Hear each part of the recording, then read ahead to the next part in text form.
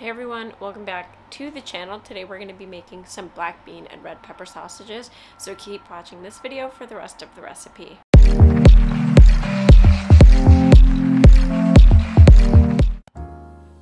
Start by adding some veggie broth to your skillet, followed by one half of a minced red onion and three garlic cloves.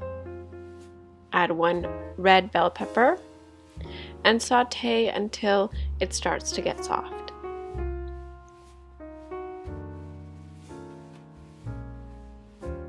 Next, add about a fourth cup of chopped celery. Give it a good mix.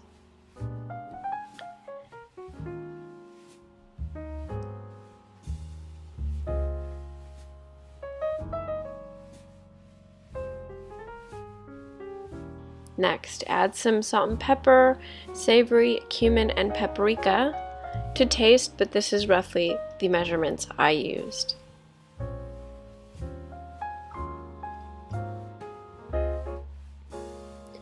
Now add 3 cups of chopped button mushrooms pre-washed.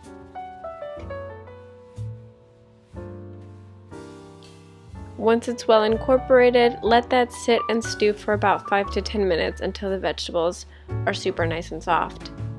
Now we turn to our blender to make an additional base to the wet ingredients of our seitan sausages. Add 3 cups of black beans to your blender of choice, followed by all of the vegetables that we just cooked on the stove top.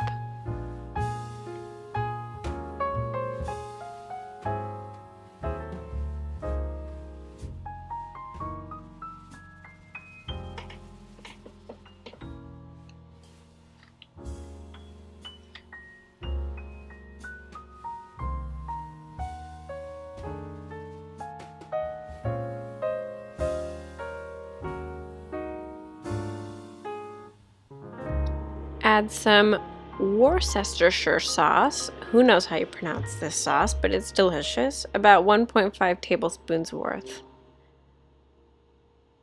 Now at this point, you can add any additional spices you'd like or more of the spices we've already added, but then blend until nice and smooth. For the dry ingredients, we're going to take 3 cups of Vital Wheat gluten and 1.5 cups of buckwheat flour, lightly mix it, and then add our wet ingredients to our dry ingredients, mix with a wooden spoon, and then knead by hand until the dough starts to form a seitan and dough-like mixture.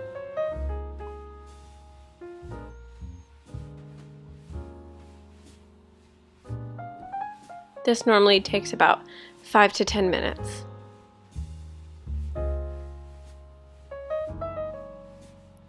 Once your mixture comes together, take a knife or a dough utensil and split into eight equal sections. You can weigh them or eyeball them. It really doesn't make too much of a difference, but more or less you want them to be the same amount of grams.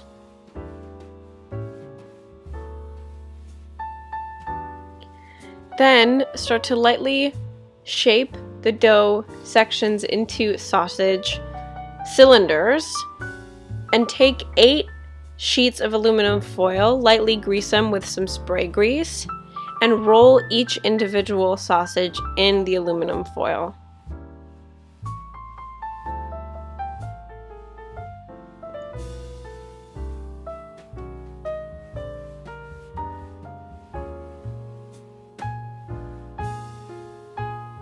Once your sausages are in the desired shape, and you've done it to every single one, we're to steam it.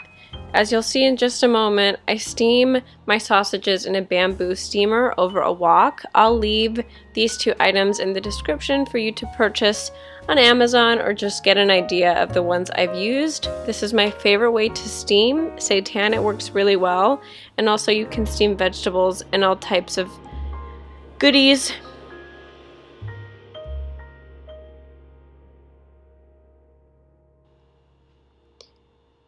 So once everything is rolled up, steam in your bamboo steamer for 40 minutes, adding about half of the sausages to the bottom and half to the top at about 20 minutes, try and move the sausages around so they cook accordingly.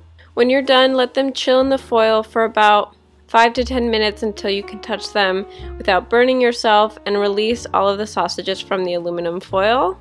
Now you can store them or eat them in a hot dog bun just like a regular sausage, but stay tuned for next week where I'm going to show you guys how to make toad in the hole.